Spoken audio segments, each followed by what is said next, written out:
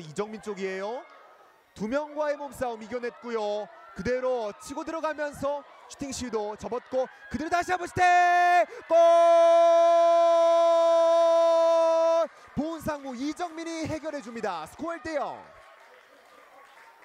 사실 여러 차례 양 팀에서 모두 아쉬운 기회들이 나왔었기 때문에 아 이렇게 무승부로 종료되나 싶었거든요. 결국에는 이정민이 해결해 주었습니다. 자신의 리그 다섯 번째 득점을 신고하면서 팀에게 1대0 리드를 안겨준 이정민 전방을 찾고 있습니다.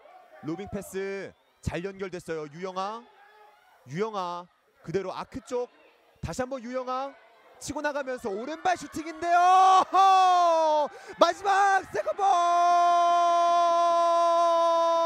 교체 출전 장유빈 팀의 히어로가 됩니다. 스코어 1대1 그림 같은 장면이 나왔습니다. 이 유영아의 오른발 중거리 슈팅 골대 맞고 나왔지만 장유빈이 second ball을 놓치지 않았습니다.